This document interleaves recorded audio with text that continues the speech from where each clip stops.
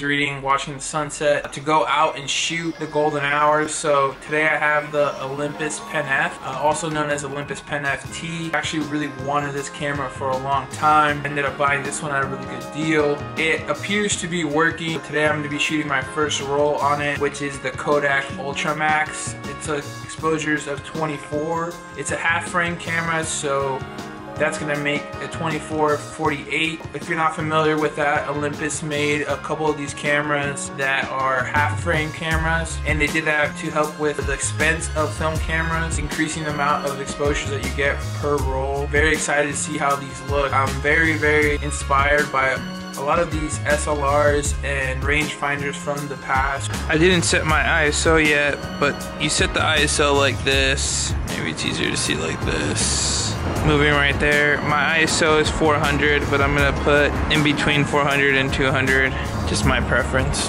I'm hoodie ready, I'm Olympus pen ready, so I'm about to take my first shot.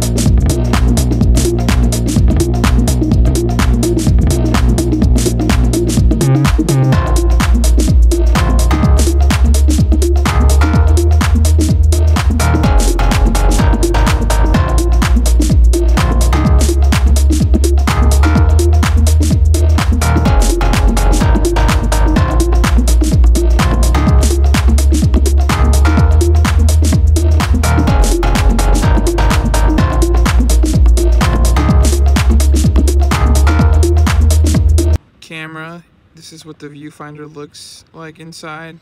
It's just a half frame. So it shoots portrait upward. That's how the viewfinder looks. Just wanted to show you guys that real quick.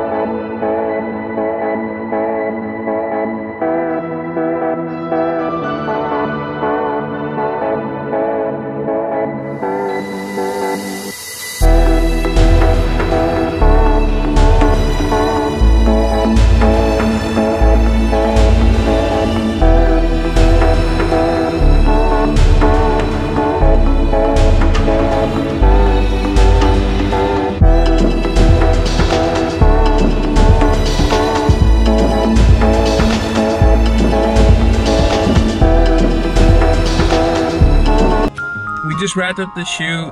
Um, I think I got some fire. camera seemed pretty self-explanatory to use. I got really used to it really quickly. It feels so inspiring just to hold in your hands, weight, the size. It's a great camera. I hope the, uh, the photos come out cool. If I could change anything about this whole shoot that I did today, I would have changed the ISO. I would have gone lower because the whole time the camera was asking me to shoot at 1 500th of a second because it looks like there was too much light out here. But honestly didn't look like that much light, but.